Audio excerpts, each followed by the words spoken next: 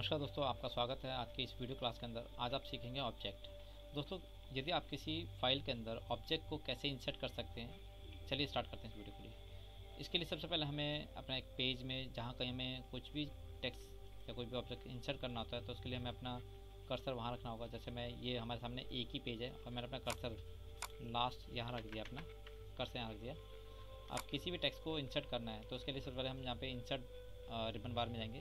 Text block के अंदर सबसे लास्ट वाला ऑप्शन है सातवें नंबर का, ये ऑब्जेक्ट तो ऑब्जेक्ट में जैसे आप कोई इमेज लेना चाहते हैं तो आपने ऑब्जेक्ट पर क्लिक किया और आप चाहते हैं कि जैसे कुछ यहाँ पे बिट मैप मैंने ले लिया फोटोशॉप वाला या एम एस पेंट वाला ले लिया बिट मैप पे क्लिक किया और ओके कर दिया।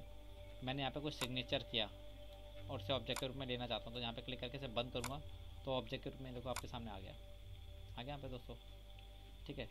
तो मैंने इसे यहाँ ले लिया। अब इसके साथ में मैं चाहता हूँ कि मुझे ऑब्जेक्ट नहीं चाहिए। मुझे इस तरह का चाहिए मुझे टेक्स्ट इंसर्ट करना है। तो आप वहीं जाएँगे इंसर्ट डिबन बार में टेक्स्ट ब्लॉक में और ऑब्जेक्ट पर क्लिक करेंगे। यहाँ पर चाहिए टेक्स्ट फ्रॉम फ़ाइल किसी भी फ़ाइल से मुझे टेक्स्ट चाहिए। तो अपना कर्सर रखा आपने।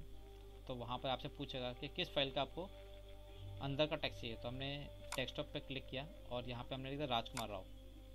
और जैसे मैंने इस पर इंसर्ट किया तो इसके अंदर के जो दो पैराग्राफ हैं, राजकुमार राव और अजय देवगन के पैराग्राफ है, ये आपके सामने आ गए हैं। किस तरीके से हम उसे टेक्स्ट को ऑब्जेक्ट टूल से ऑप्शन से हम ला सकते हैं। इस वीडियो को यहाँ तक देखने के लिए धन्यवाद दोस्तों।